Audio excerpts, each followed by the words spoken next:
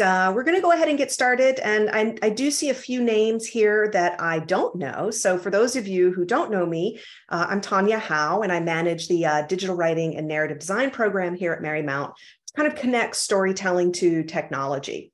Um, it's been around for about three years now. It, it's hard to imagine that, but it's I think that's right. We've had three visiting speakers, so Aria is our third, which is great. Um, and I first met Aria when I was pursuing a degree at Maryland Institute College of Art in data analytics and visualization, and um, and I'm just really pleased to invite her here as this year's spring speaker. So uh, Aria is a creative technologist and a visual designer at the Dataface, where she creates interactives and data stories of lots of different kinds. Um, she also, I thought would be particularly interesting for our Marymount folks, um, has a background in fashion design, which might appeal to some of our students. So uh, I will let her give you the rest of the story. So uh, welcome, Aria. Thanks, Tanya. Um, so happy to be here and to be here with all of you this morning. I'm going to go ahead and start sharing my screen. I prepared a few slides for us.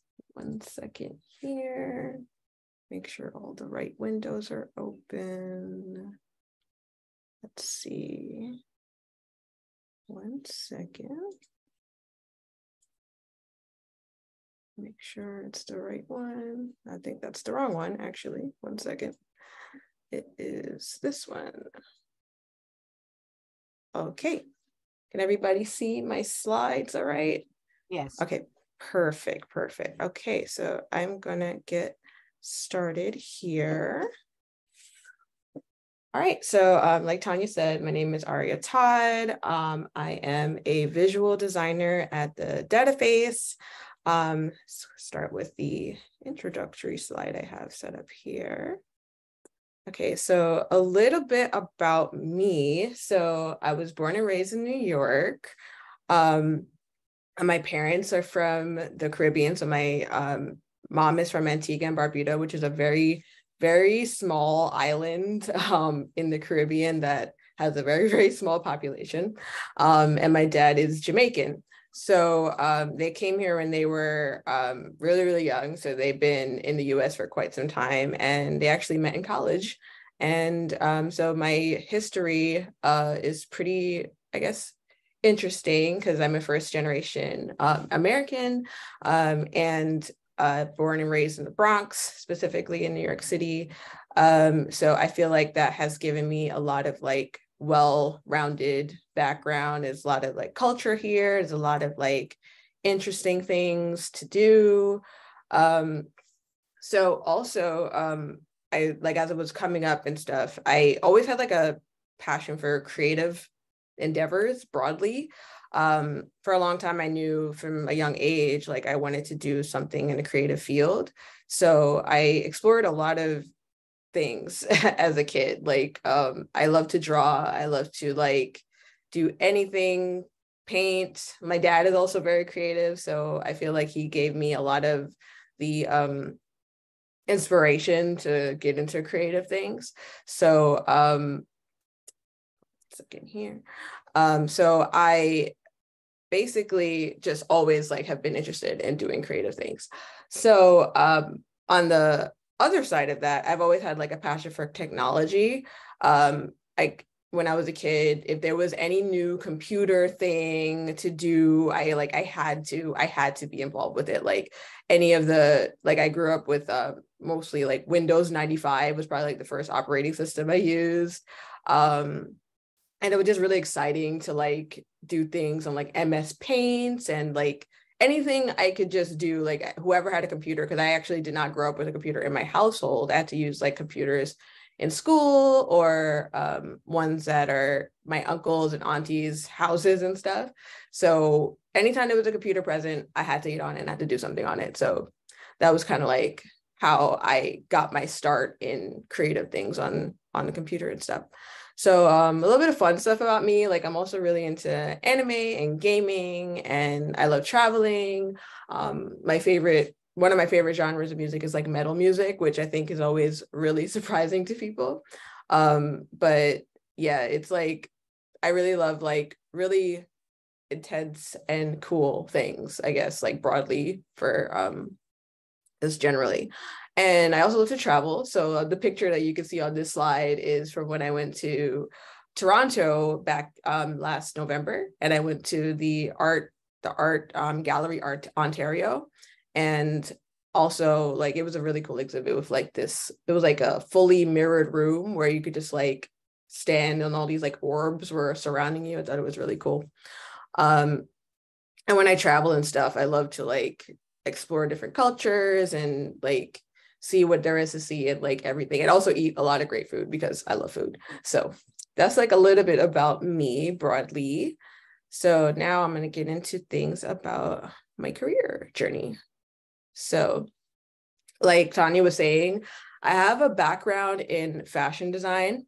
Um, and I pivoted to data viz, like kind of, I guess I want to say sort of by accident. Um, is really interesting. So I did fashion design for many, many years. Like I went to high school fashion industry. So imagine me doing studying fashion design all the way from ninth grade all the way up into the end of college. So that is like, I don't even know how many years, but um it was really, it was really cool. I was really passionate about it um when I first got into it. But as I got into the industry itself, I started to feel a little bit disillusioned by it. I specialized in children's wear, which was really fun and really interesting. But the industry itself, like in practice, there was just a lot of like, unfortunately, there was some toxic work environments I was in. Um, and there was some sort of there was some like ethical questions I had about the industry as a whole um, which kind of like made me fall a little bit out of love with it. Even though I'm really, really passionate about fashion, like currently, like I still do a little bit of it on the side as like sort of a side gig, but just like for my own creative purposes and less for like business and you know it being my full-time career. So I ended up changing paths because I just felt like if something wasn't working for me, it was best that I just change and move on to something different instead of like trying to justify staying on the same road forever.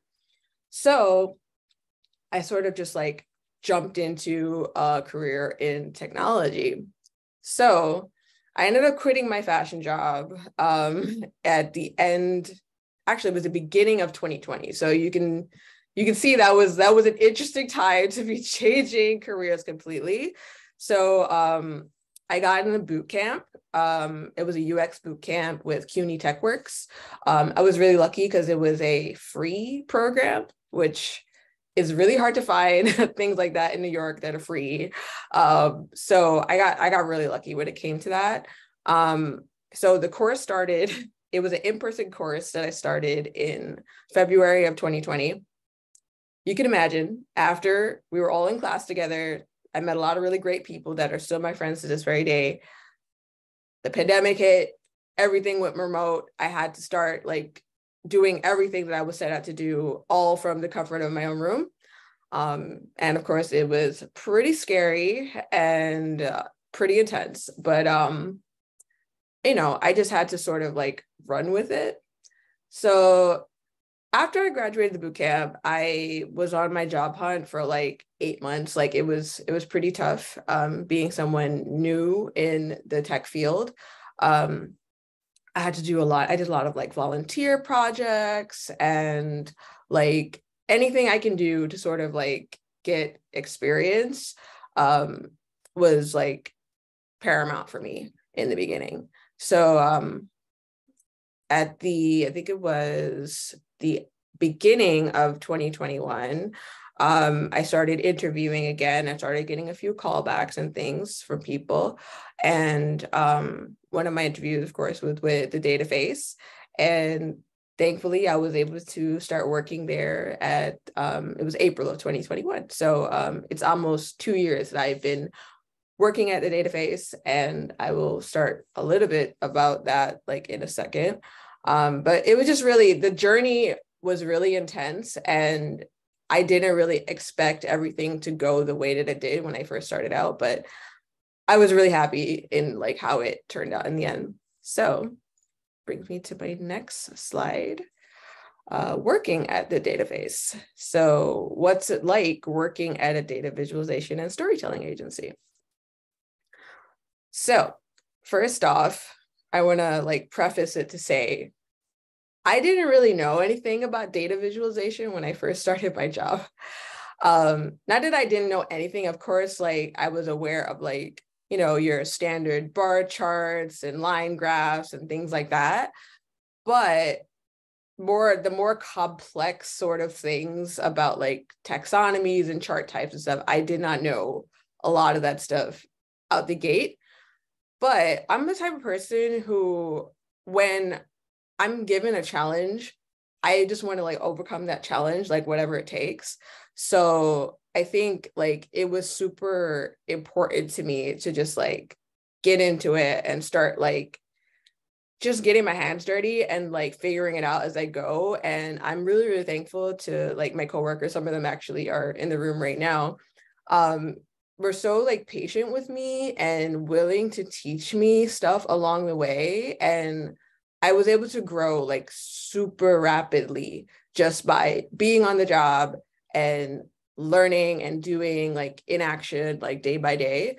So I'm really thankful that I had like really, really great, a really, really great team to like help me through. And now I just feel like it, it's just amazing when I look back and think about how far I've come and how natural um, the data world has become to me. It just feels like it just feels like something that's just a normal thing that's just I just know how to do because it's because of the great team I was able to work with, I've been able to work with.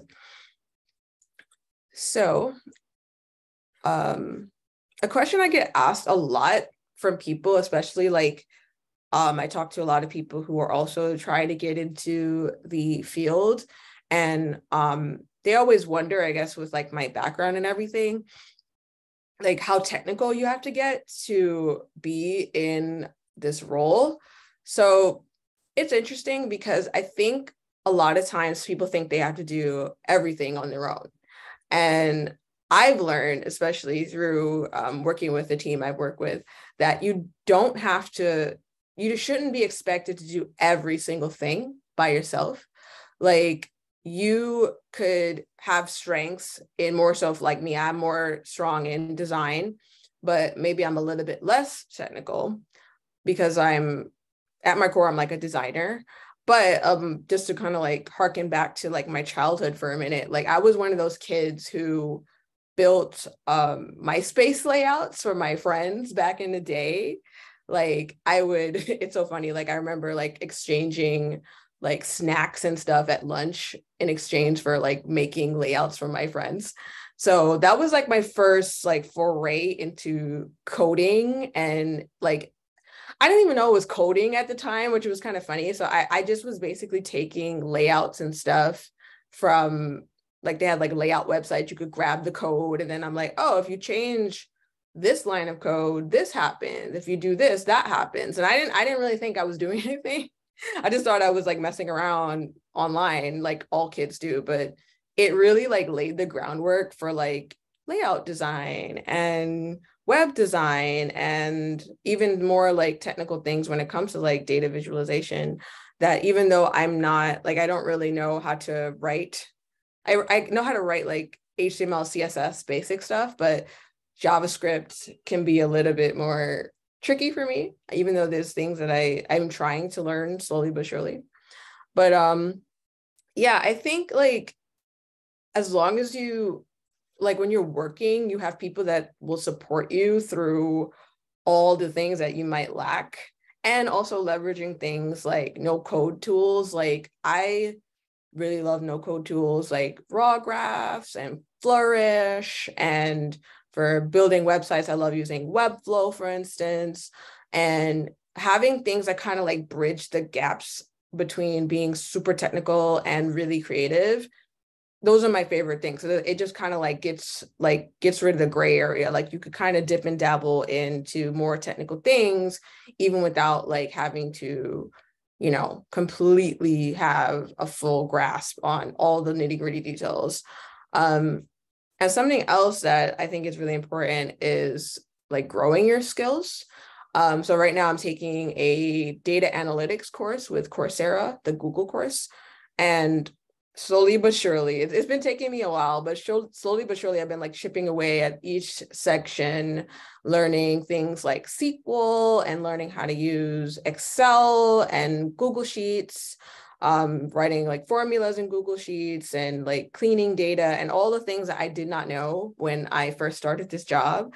And just having like having an opportunity to continuously learn i think is like the most important thing like you just will you will just like grow so much if you're always like keeping an open mind to learning more things constantly so that's sort of like the attitude that i have um so i feel like you don't have to know everything there is to know about data visualization everything there is to know about like coding to be like good at what you do. Um, I also really enjoy, and I, I should I was going to mention this before. I also really enjoy writing, like as a hobby. So it kind of like goes hand in hand with the work that I do day to day.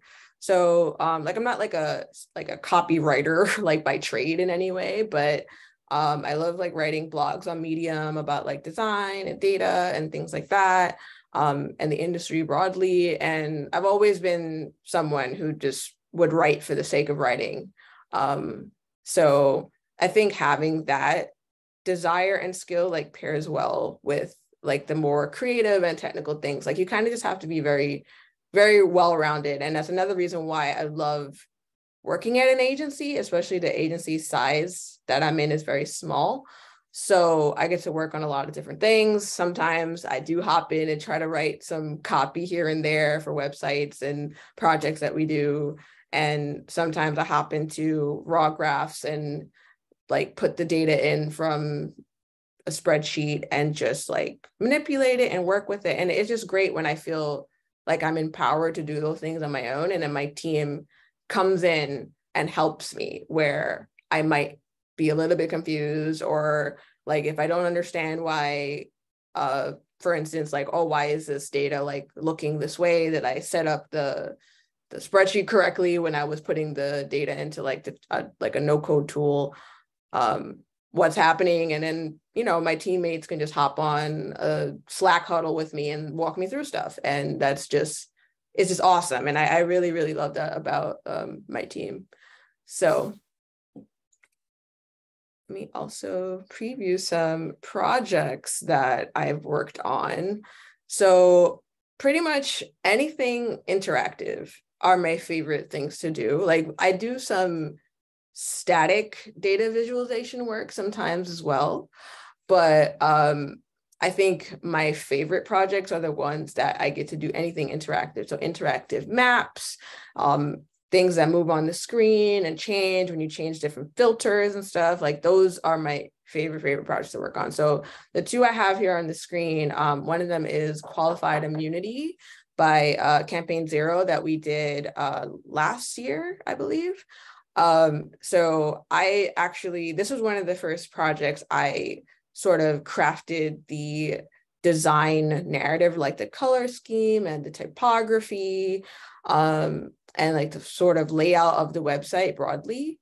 Um, so that was really exciting. And um, my awesome awesome developers at my um, agency like built it out and it's like amazing and it's one of like the, my favorite things that we worked on um, another project was um, more than fair uh, by upstart um, a client. And that one was really cool because it was all about like equity in and fairness in lending. So like also in addition to just being able to build awesome interactive experiences i also really really enjoy data working with data that's like impactful for society like uh, social impact projects like financial fairness and equity like those are just two examples but like sustainability and just making like data like as accessible as possible for people all that stuff is like really really important to me um especially like with the more than fair project like i loved it because it was like pushing for equity for underserved communities um in the financial realm and that's something that's really important to me as somebody who comes from a family of immigrants and have seen like people being underserved by like the finance finance industry as a whole in a lot of different ways. So um it's just cool to be able to work on projects that like I feel a, a direct impact in my life or are really important to me.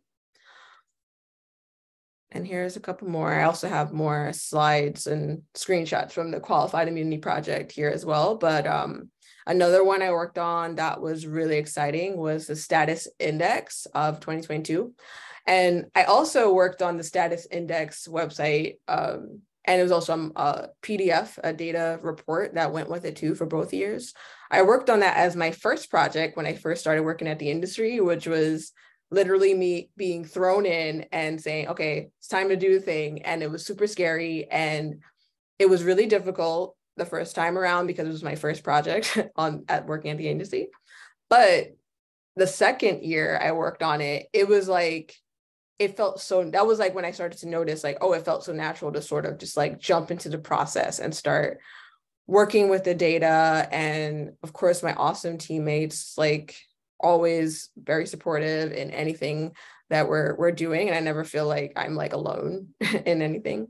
So um STAATUS Index basically um just to give a little um background on the project um, it brings a, awareness towards of attitudes towards Asian Americans, like Asian American stereotypes and like the violence that was happening um, last year and, and during the height of the pandemic. So it was basically um, we designed a microsite and a PDF report with the survey results that detailed all all these different aspects of um, the what may be causing and leading to um, violence um, in the Asian American community. So that project with was with LAAUNCH and TAAF. Um, those those are the clients that we worked on for this project, and it was another one of my my favorite projects. Like aesthetically, it felt very strong and impactful, and the data is really important. So um, I I just really really love like working on things that are making an impact in the community. Um, so yeah, that's a little bit on that. And lastly, I also enjoy working on projects that are really fun. So um, the first one here is a Yelp. It's a 10 years of Yelp's top 100 places to eat. Um, that project was super, super fun because just categorizing all of these different restaurants and food data. And like I said before, I love eating and I love like traveling and eating at different places all over the country and all over the world. So getting to work with like fun data like restaurants and like rankings and seeing different food categories and stuff like that is always like super super fun. Um so that's like a little bit more of the lighthearted side of what I get to do. Um, another project I really, really enjoyed working on was for Instacart, which was um, did anyone actually cart that FoodTok recipe, which was uh, categorizing all these different um, TikTok trends for food and if they were impacting like Instacart's sales for different food items or different like recipe items for those particular TikToks. Um, that one was super fun. And um, I really love working with Instacart specifically because the data is always really fun and um, they're brand um, is very the brand guides and the color scheme and everything is always super fun to work with so i really enjoy doing work that's like a little bit more particular for just like fun things and i think that's like the beauty of working at an agency is that you get to work on so many different types of things. Like it's it's like the sky's the limit. And we can also like as a team pick and choose like the projects that we want um, things that we feel strongly about or like align with our values as a company and as people. And it's just like you really it's just really amazing to just have so many different things to work on and um, i know there's another sort of like an aside to this is I know a lot of times, especially in early career, early career designers, there's like this question of if, oh, should I work at a large tech firm? Should I work at like an enterprise company? Or should I work at an agency? And I feel like sometimes agency work can get a bad rap because it feels like it's I've heard from like it could be like seen as inferior to working at like a larger tech firm or working on enterprise software or something like that. But I feel like it's just like the best way to grow because you get to do so much. And especially if you work on a smaller team, because if you're working at a larger firm, sometimes you can kind of, your design work and your narrative work can get very lost in like the noise. And maybe there are a lot of things that don't get to get shipped or don't see the light of day, even if you worked on it for a year, which is like the worst case scenario. But what I really love for me is that I get to work on something new like every six weeks or so, every couple months. Like there's something brand new to work on. And there's like multiple things to work on. Like I can be working on two and three different projects and jumping between them during the week. And that flexibility and that ability to just like maximize my uh, maximize my um work and like the work things I get to work on it's just been really fulfilling for me um broadly. So um like if I had to give any advice it would it would be like I, I just really enjoy agency work um because because of everything I just said. But um you know I think it's worth like exploring options and seeing what's out there. And um also it's cool with an agency like even if you don't specifically work for a very large name tech firm, you can also do projects for them if you work you can work with them through the agency even if you're not working with them directly. So it just it allows you to add a lot of different brands to your repertoire and also like getting getting um what's the word? Getting like um experience in um working with a lot of different clients and that that only helps you grow like significantly grow. So um yeah that's like my my sort of like reasoning for loving agency work so much. And um i would definitely advise it as something especially for students or people looking to maybe change change over to something new like it's always it's always great to see like what what opportunities are out there, even if you least expect, least expect to be where you're going to be. Um, because again, like I didn't really know and didn't think I was going to be specializing in data visualization in my work day to day, but um, I think I've grown to just like really be obsessed with it and a little bit healthy obsession, of course, and um, just always seeking ways to improve on my craft and grow. So thank you everybody. Um, I have a couple of things here at my portfolio. Um, I also write on Medium and you can also find me on Twitter and hope maybe at some point I can like drop some of my links into the chat. Um, but yeah, um, open to any questions that any, anyone might have and with the remaining time. Thanks, Great. Everybody.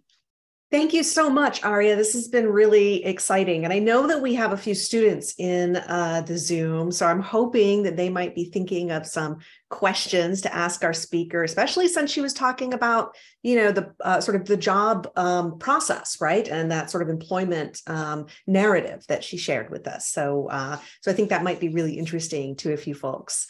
Um, we did have a couple of questions popped in the chat. And uh, so I want to go back to um, something that um, Diane Murphy asked. Diane, do you want to ask your question or do you want me to ask it for you? I can ask it. Okay. You know, I'm I'm from the other perspective here, uh, Aria. I'm my people, uh, my students are all technical people, right? So, what advice would you give them uh, from the creative side and what they need to think about? They know how to do all the tools and everything, but how how do you inspire that creativity in them?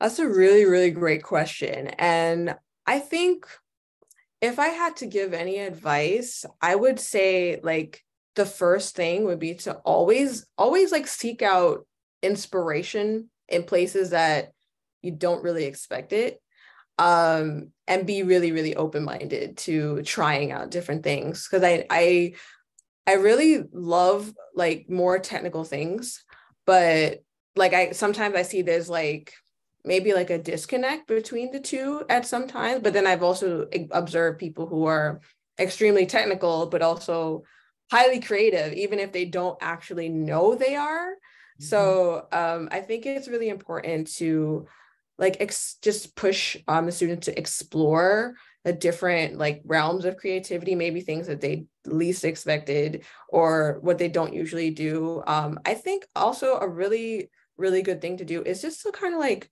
draw things like kind of like take out piece of paper and i you know i didn't really speak to this too much in the presentation but beyond like all the sort of getting into a tool and working with something immediately, even like jumping in a design tool and working with things immediately in data. I think a really important first step is just to take out a piece of paper and just start drawing things out. Like, even if like a lot of people say, oh, I can't draw, I can't, like, it's not going to be nice, it's going to be ugly or something, and people feel really insecure about that.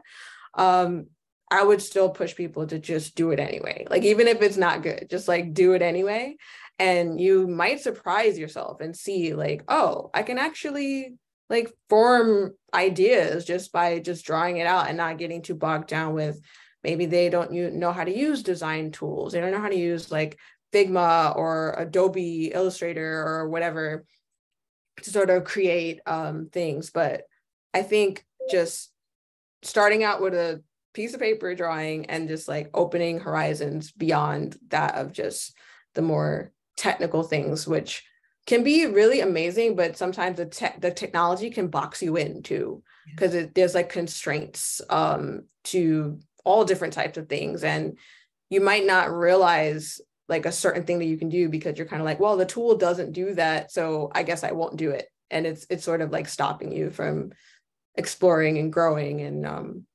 and I guess uh, one other thing I could say about that too is like partner, like for more technical people to partner with creatives. Because I think there's a lot for more technical people to learn from creatives and vice versa. Because I really love, for instance, working with people who are more development minded and more technically engineering minded because they'll mention things to me that I would have never thought.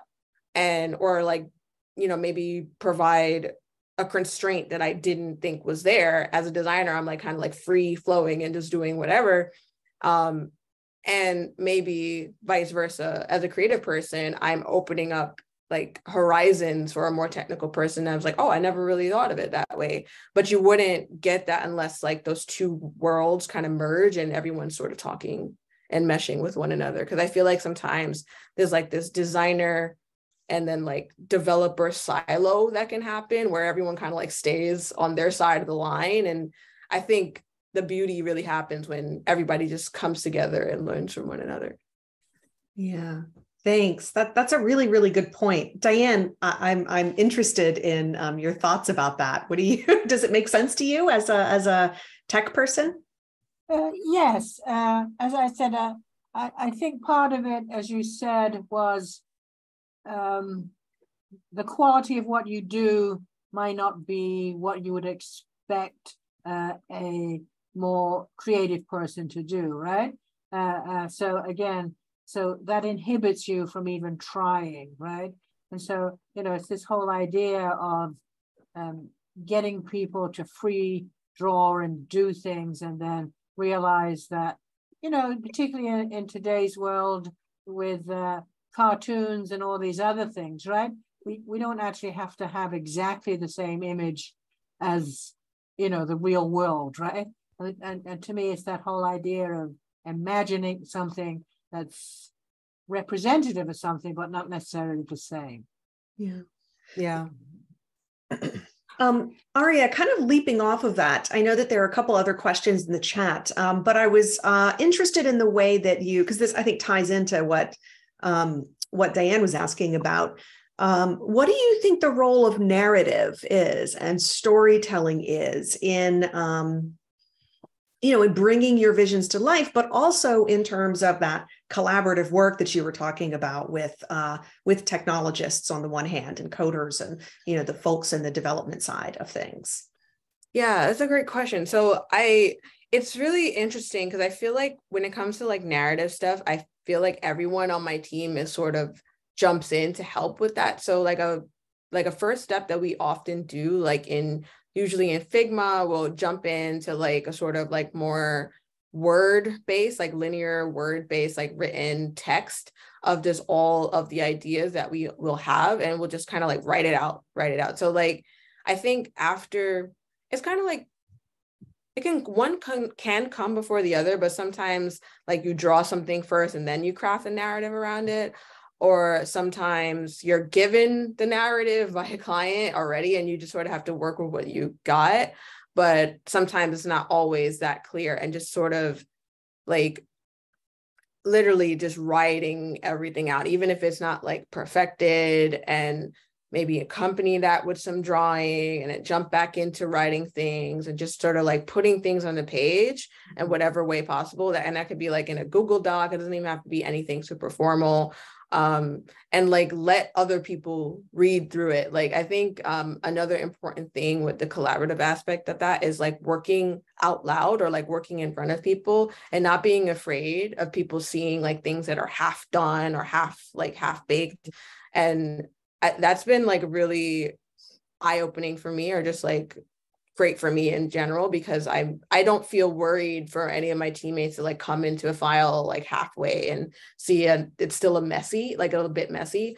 And they might have an idea or something that they'll throw in to just a text or like the brainstorming document that we have going.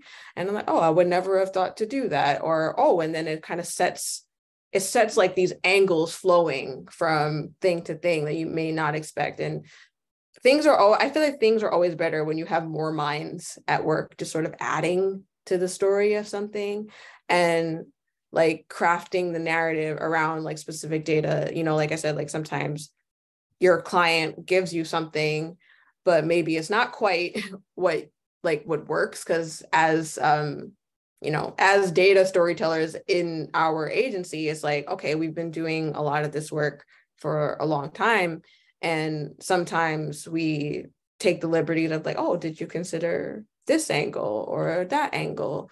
Um, and sometimes um, I know, for instance, like with the client, um, do like different brainstorming things that involve the client too, like have them put in their ideas, have us put in our ideas, and it kind of all just comes together into this sort of like mix of things until you iterate on it and iterate on it again, change, cut, review until you end up with something nice. Yeah, trust the process, right? Mm, yeah, absolutely. Uh, yeah. Um, Sue, you had a question for Aria. Do you want to ask? Sure. Uh, Aria, I, I, love your designs, first of all. They're really engaging.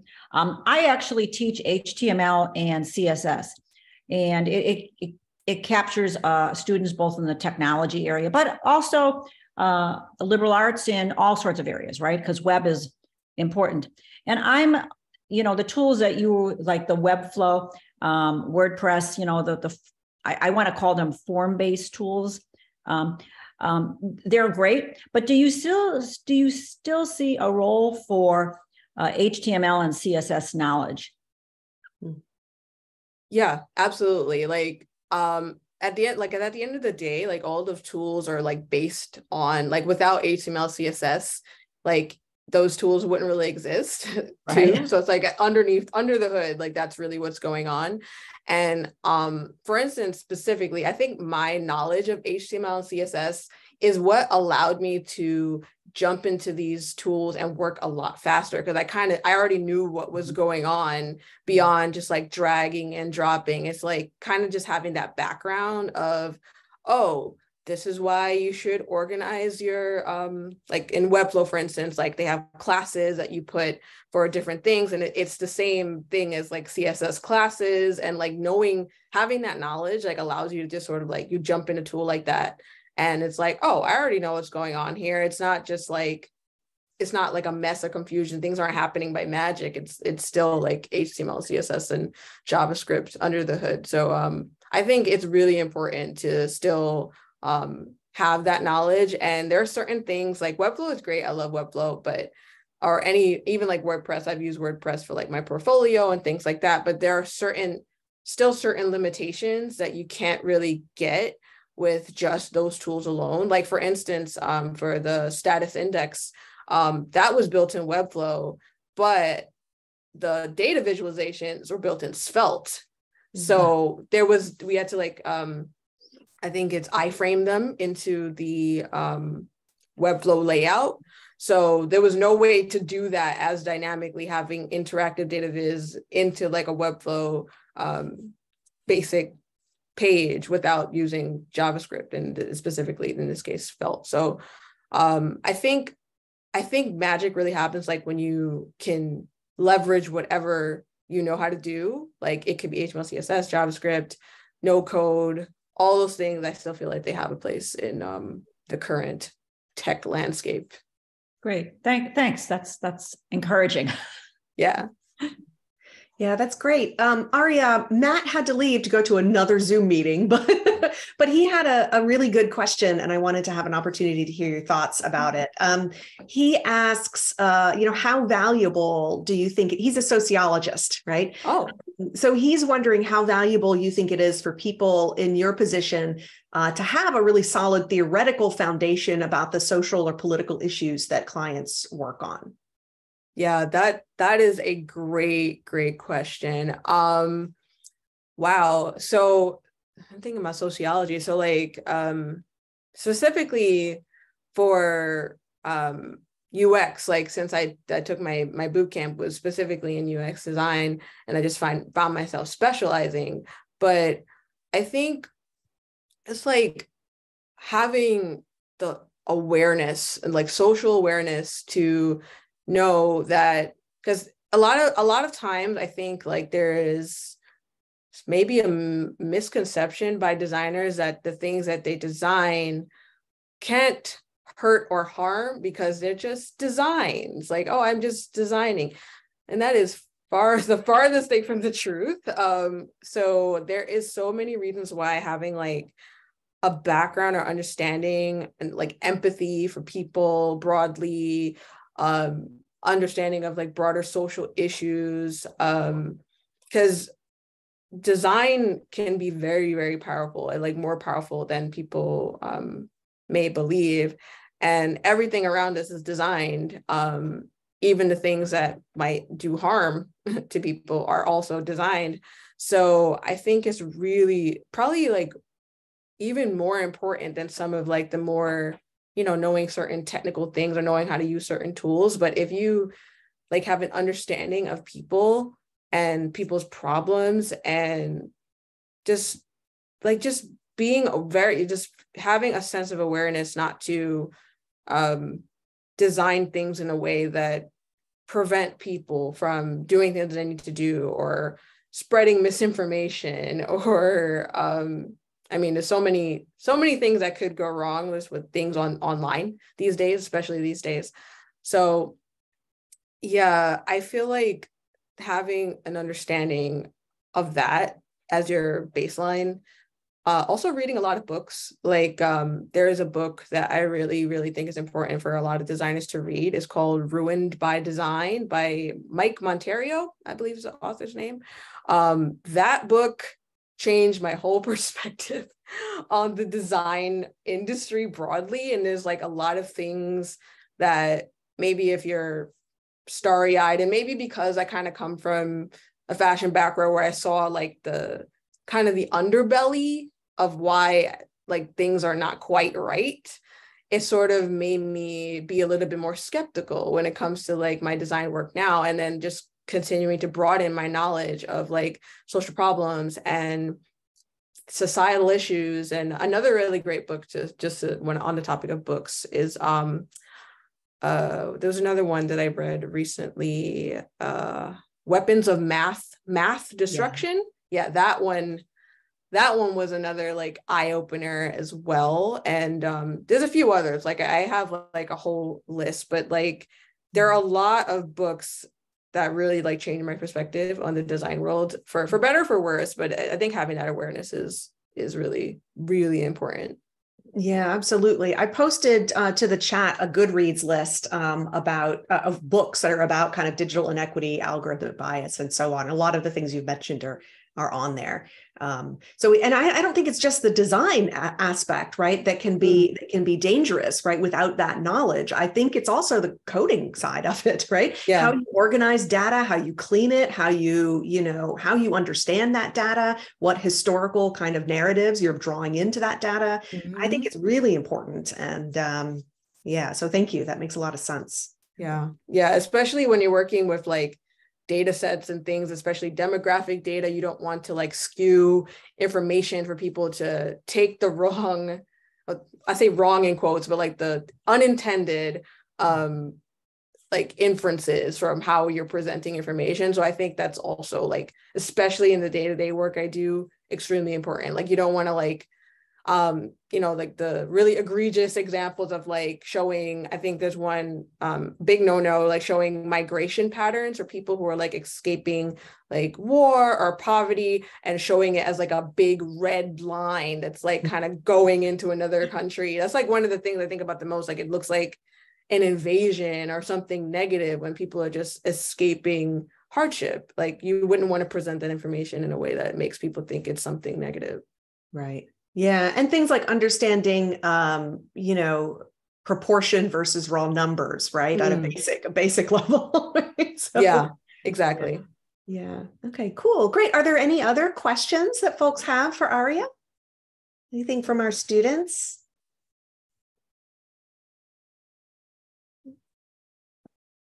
Okay. Well, um, if that if that's all, then I'll I'll ask everybody to join and you know a round of applause and and thank you, Aria, for um, for spending time with us this morning, and uh, we really appreciate it. And uh, we do have the video, um, and Aria has has happily let us uh, record this.